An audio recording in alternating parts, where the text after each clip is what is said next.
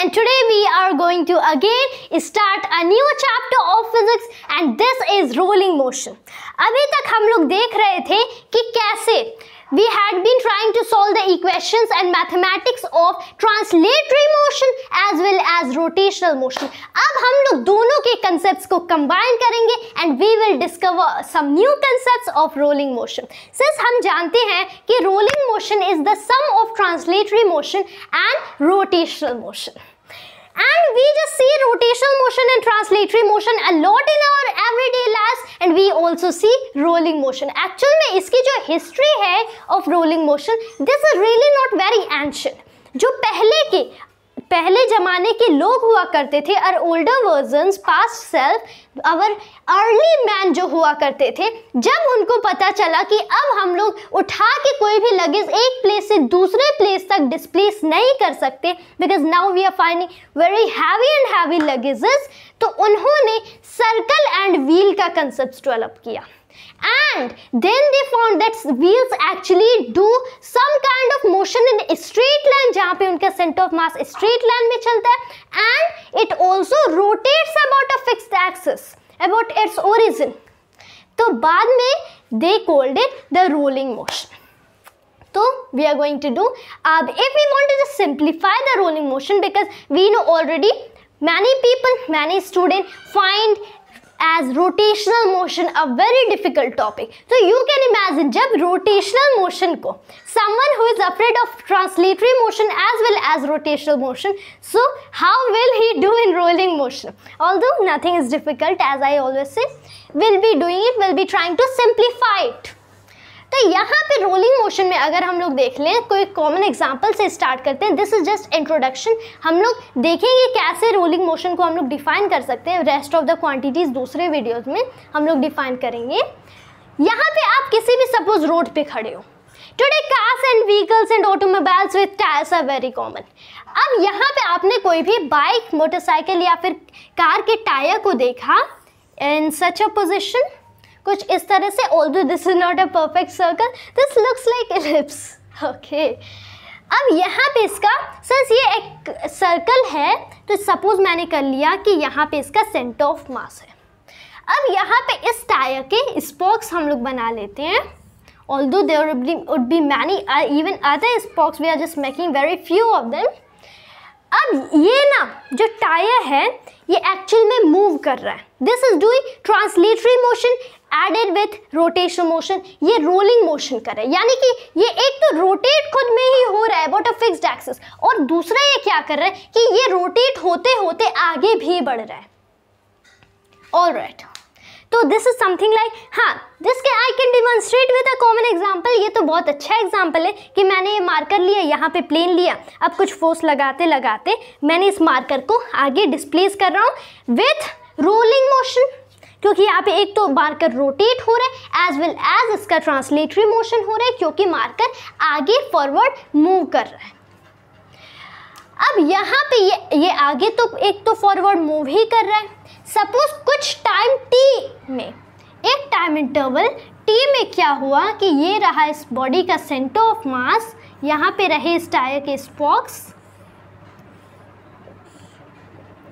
And कुछ time T के बाद यहाँ पे हम लोगों ने इनिशियली कोई पॉइंट पी सपोज़ किया था and we have to assume it to be in this way that point P is always below the tyre तो यहाँ पे भी पॉइंट पी हम लोग बोलेंगे। कुछ टाइम टी में इसने एस डिस्टेंस ट्रैवल कर लिया। S is the linear distance so this S linear distance is travelled in time T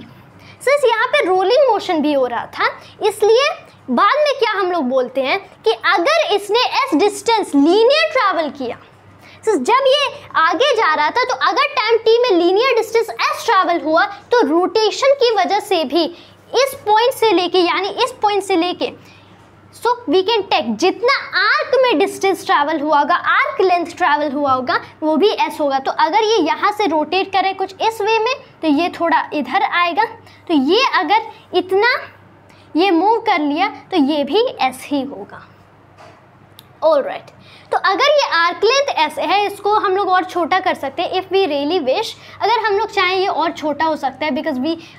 don't really want it to be too long okay तो यहाँ पे इतना हम लोग कर लेते हैं, ये आर्क लेंथ भी ऐसे ही होगा।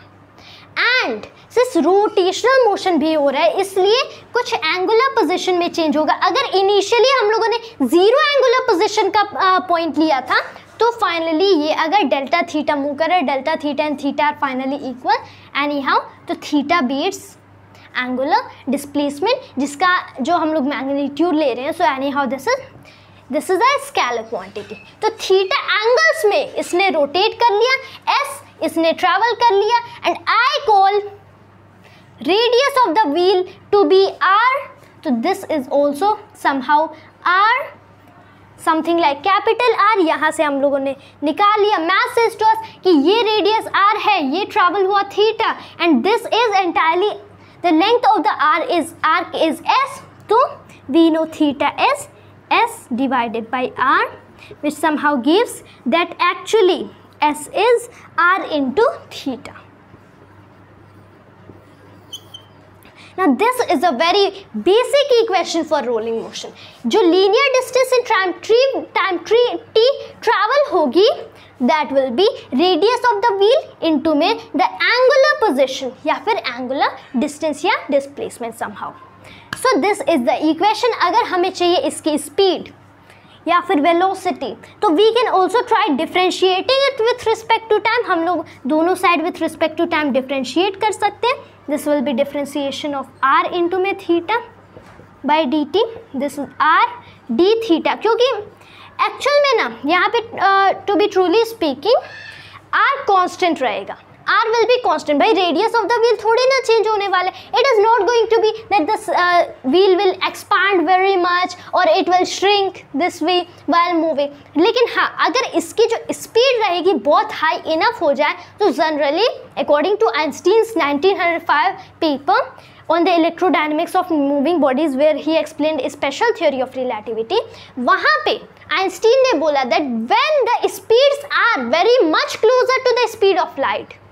तब जो बॉडीज होती हैं, वो श्रिंक करने लगती है। तब लेंथ कॉन्ट्रैक्शन होता है। बॉडीज की लेंथ कम होने लगती है। तो अगर यहाँ पे ये जो व्हील है ना, इसका जो ट्रांसलेशन होगा, अगर इसकी ट्रांसलेटरी जो स्पीड रहेगी लीनियर स्पीड रहेगी very much close something like three into ten point seven metre per second हो जाए। देन इट विल श्रिंक जिसकी वजह से आज छोटा हो जाएगा। लेकिन we are dealing with Newtonian mechanics जिसमें हम एज्यूम करते हैं कि जो नॉर्मल स्पीड होगी एंड इवन आइंस्टीन सेज कि नॉर्मल स्पीड्स के लिए ये जो हर बार रिमेंबर हर बार तो ये चेंज होता ही हर बार लेंथ चेंज होता है, लेकिन नॉर्मल हमारे एवरीडे स्पीड्स के लिए ये इतना कम होता है, इतना कम होता है you can surely call it to be zero इसलिए this change is nearly zero तो हम लोग आर को कॉन्स्टेंट सपोज़ करते हैं। अब D S by D T now rate of change of the distance या फिर rate of change of position somehow the distance divided by total time taken is giving us what is giving us the speed speed somehow. And d theta by dt is called omega angular speed. यानी कि this is r into में omega so, somehow the equation gives us that v equals r omega.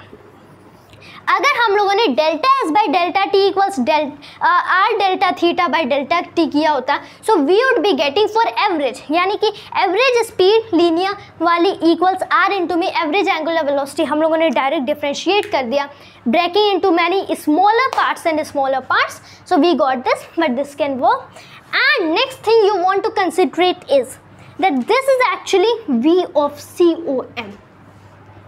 अब question arise होता है that why is it V of C O M and this has a very nice explanation let me put the marker aside for little time कि यहाँ पे क्या हुआ कि ये centre of mass of the body move कर रहा है। You may have study and you must have study the centre of mass before arriving at rotational motion and then rolling motion तो यहाँ पे v ऑफ़ सी ओ में है क्या? This is the linear speed अब लीनियर स्पीड अगर हम लोग बोले सेंटर ऑफ़ मास के मोशन की तो एक तो सेंटर ऑफ़ मास आगे जा रहा है suppose with any certain speed लेकिन इस टायर को हम लोग एक पॉइंट लाइक ऑब्जेक्ट या फिर पॉइंट ऑब्जेक्ट इसलिए नहीं बोल सकते कि सेंटर ऑफ़ मास तो आगे हमेशा ही जाता है, लेकिन बाकी सारे particles of it are going around the centre of mass and also moving forward तो इनका जो मोशन है दैट्स वाइज लिटिल कॉम्प्लेक्स इसीलिए this is not a point particle और पॉइंट लाइक पार्टिकल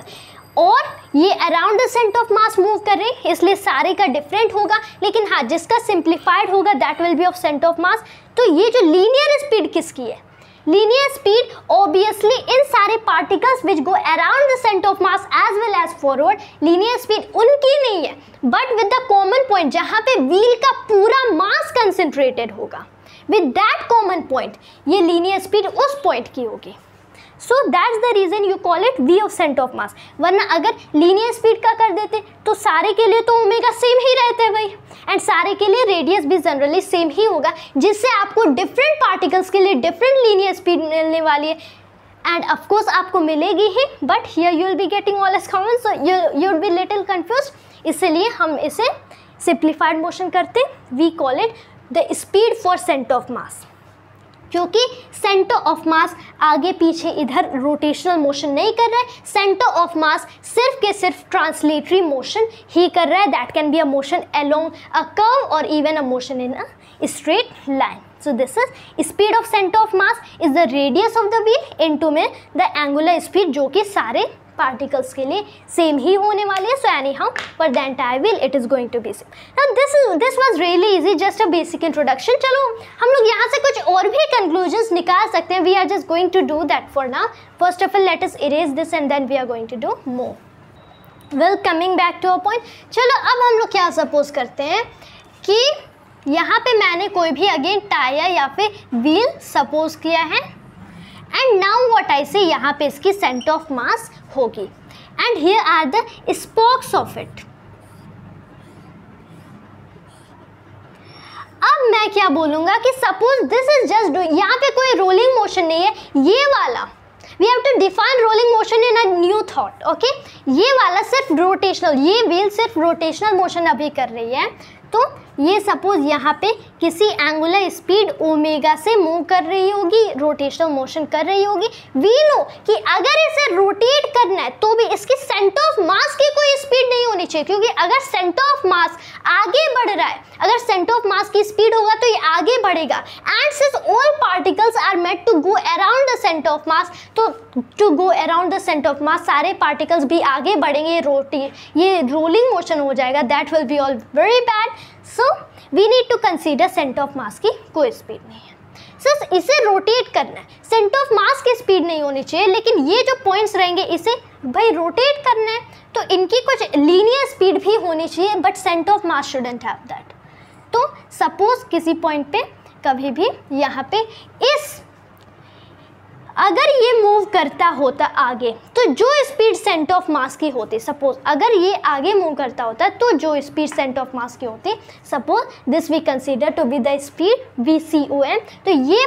यहाँ के सारे पार्टिकल्स यहाँ पे वी सी ओ एम से मूव करेंगे and their direction will be changing continuously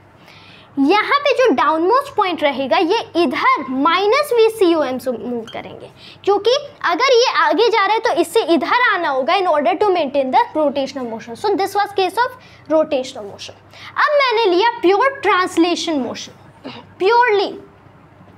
centre of mass यहाँ पे कोई रोटेशन नहीं होगा व्हील का रिमेंबर यहाँ पे wheel will be just meant to be going forward and forward with no rotation तो यहाँ पे क्या होगा? सेंटर ऑफ़ मास की स्पीड अगर V of C O M है तो ये जो टॉप मोस्ट पॉइंट रहेगा, सारे पार्टिकल्स नो रोटेशनल मोशन इसलिए सारे पार्टिकल्स सपोज़ यूनिफॉर्मली मूव कर रहे हैं। So this is also V of C O M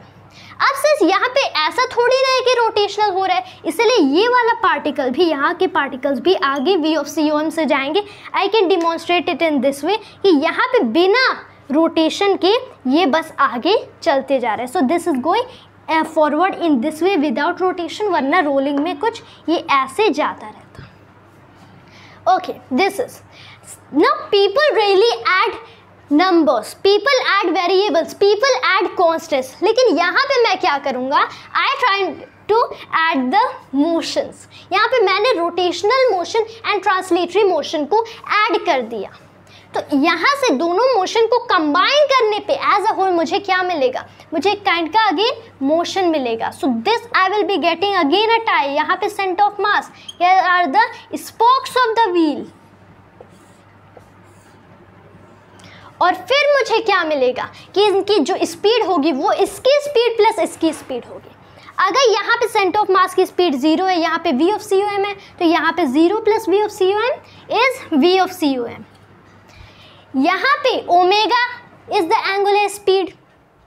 और यहाँ पे ज़ीरो एंगुलर स्पीड तो when I add this one and this one मुझे मिलता है फाइनली जो रोटेशनल की मोशन की एंगुलर स्पीड होगी that will be omega plus zero meaning omega is my this angular speed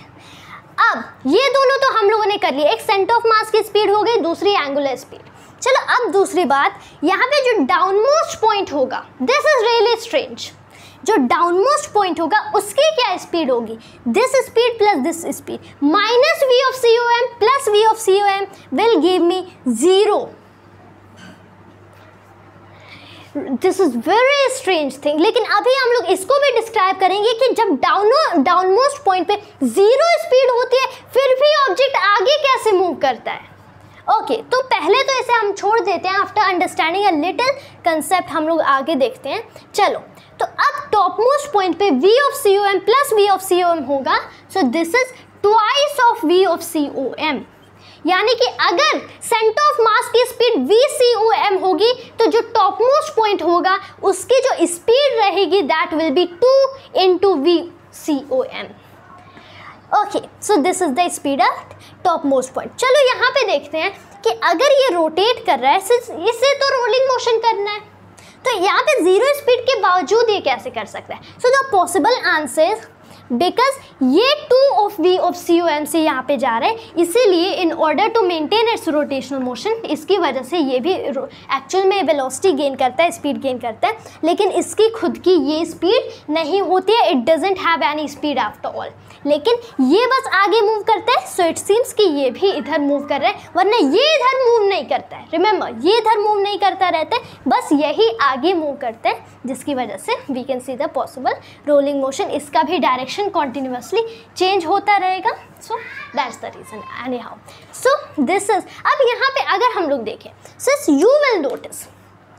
आप नोटिस करोगे that if the speeds are great और हाई इनफ तो जो स्पॉक्स होंगे वो थोड़े थोड़े डिसअपियर एंड ब्लर होने लगते हैं। You must have noticed it आप में से हर कोई ने ये नोटिस किया होगा। And if you take a quick shot of this आपने एक इमेज ले ली एक पिक्चर ले ली तो आप नोटिस करोगे that they the spokes don't look clear after all if the speeds are great enough और हाई इनफ तो यहाँ पे सबसे ज़्यादा कौन से स्पॉक्स डिसअपियर या फिर ब्लर होते हुए दिखेंगे? सो so, जहाँ पे सबसे हाई स्पीड रहेगी यहाँ पे ज़ीरो कोई बात नहीं। यहाँ पे लेस्ट होगा least you may call blurrence over the spokes यहाँ पे V of C O M तो यहाँ पे मॉडरेट लेकिन सबसे हाई स्पीड एट द सबसे high level two of V of C O M जो मैक्सिमम स्पीड होगी वो two of V of C O M है at the top most point जैसे हम लोग पेंडुलम वाला केस पहले देखते थे पेंडुलम यहाँ पे रखते थे। This is bob of mass M इसको हम लोगों ने फोर्स लगाते थे। So this would become some somewhat in this condition तो यहाँ पे जैसे मैक्सिमम पोटेंशियल एनर्जी होती थी ग्रेविटेशनल पोटेंशियल एनर्जी यहाँ पे जो मैक्सिमम है वो स्पीड है। तो maximum speed at the top most point इसीलिए जो spokes at the same instant at top most point रहेंगे, वही सबसे ज़्यादा ब्लर होते हुए दिखेंगे, उनका ही डिसअपेयरेंस सबसे ज़्यादा दिखेगा। So this was just a basic introduction to rotation sorry rolling motion इसके बाद हम लोग इसी में कुछ एडवांस चीज़ें देखेंगे something like kinetic energy during rolling motion work done during rolling motion and will revisit the talk again तो that was just all for to hope you always like that enjoy to this video and thanks to always for watching this video जय जय भारत